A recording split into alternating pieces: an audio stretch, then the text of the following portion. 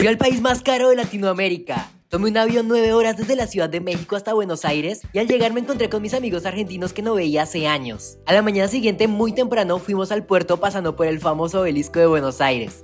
Abordamos un ferry y en una hora llegamos a Colonia en Uruguay por 87 dólares o 1600 pesos mexicanos. Uruguay es súper cerca de Buenos Aires, así que si vienes te conviene conocer otro país solo cruzando el río.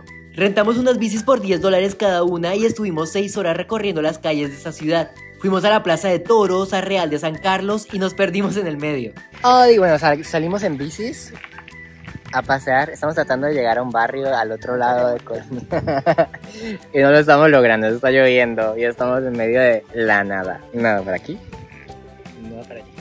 En su historia la ciudad fue invadida siete veces por portugueses y españoles, así que el centro histórico, que es hermoso, está rodeado por una muralla. La puerta de entrada a la ciudadela es parada obligada, así como el faro. Acá se acostumbra a tomar mate todo el tiempo.